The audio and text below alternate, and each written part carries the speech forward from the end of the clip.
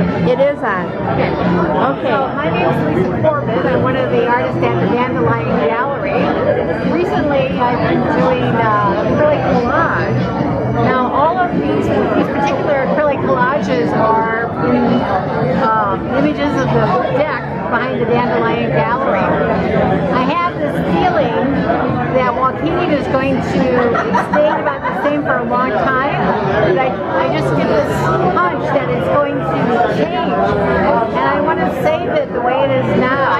It looks like it's uh, in a time capsule from the 40s and 50s and the 60s. Well, anyway, it's kind of a bohemian place. It's a place for artists and musicians and people who just love this type of uh, um, life. And also, Because the people here just will not let it die.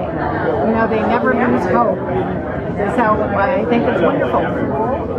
Can you tell me about your paintings here? Um, I like, I think what sets me apart from some artists is it's not just to record what's here, but I've had several people tell me that I have this poetic uh, spirit.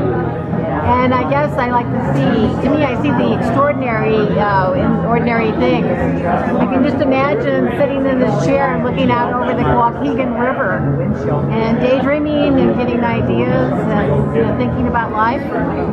Is this chair out behind the Dandelion Gallery on the deck? Uh, well, I took these, actually I took these a couple of years ago and during the summer.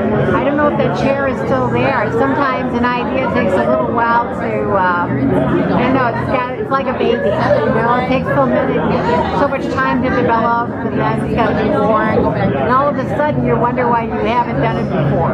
So, I like the composition. Tell me how you decided to. composition, oh well, you know, like everybody in art school, I learned it.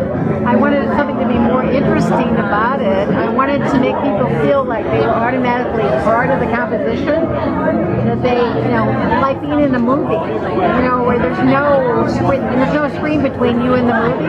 Suddenly you're in it, and that's what I strive for. Feel like I want to go sit in that chair. What about this top one? Um, well, I thought it would be interesting to use the same chair three times. I think it has the number three in artwork uh, intrigues me. I don't know if it's because I have a sister and brother and we have this interesting dynamic as children, but I like the way the three moves. I think that odd, uh, uneven numbers in art are good. And the bottom one is the small. Okay, it's uh, one of the doors, and what I think what I like most about it is that the shadow from that huge tree uh, extends all the way over the deck and goes up the wall. Right, and of course I like the texture of it, but there's something about it that makes you just want to stand there and relax think about life. I like the negative space that you chose. You sound like an art teacher.